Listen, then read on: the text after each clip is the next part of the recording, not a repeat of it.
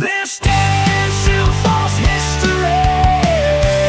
This day in Sioux Falls history is brought to you by Thomas James and Bechtold Jewelry, the oldest jewelry store in South Dakota, using time tested techniques to restore and repair jewelry and using the latest technology to create custom pieces. Thomas James and Bechtold Jewelry, 325 South Phillips Avenue in downtown Sioux Falls. It was on this day, June 27, 1945, Sioux Falls' very own Negro Leagues team, the Sioux Falls Pirates, take on an all star team from the Watertown Men's Baseball League. Most of us have heard of the baseball league made up of black baseball players during the 1920s to 1950s. They were excluded from Major League Baseball, but some iconic names, including Satchel Paige, Josh Gibbons, and Cool Papa Bell, were all involved. What you might not know is that Sioux Falls had fielded its own exclusive black team for two seasons. That was 1944 and 1945, and they competed against black and white teams traveling through Sioux Falls for their summer of barnstorming tours. Most of the players were stationed at the Army Radio Training School headquarters in Sioux Falls throughout World War II, and baseball was an excellent way to pass the downtime. I sure wish more of their history was recorded somewhere, but what an amazing milestone for Sioux Falls history.